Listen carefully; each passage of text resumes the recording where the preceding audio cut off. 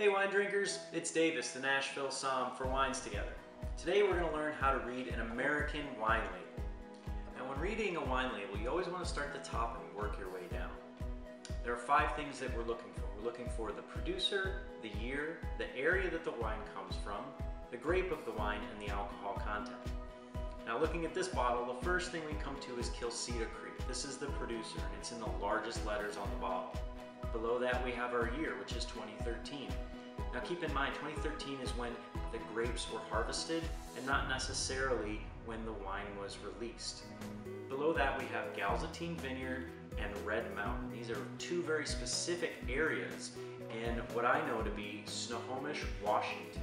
So for it to have a specific vineyard designation, all of the grapes have to come from that specific vineyard. Below that, we have Cabernet Sauvignon. Now it has to be 75% Cabernet Sauvignon in the United States for it to be labeled Cabernet Sauvignon. This is true of any grape that comes from the United States. And then lastly, we have our alcohol content, which is 15.2%, which is really high.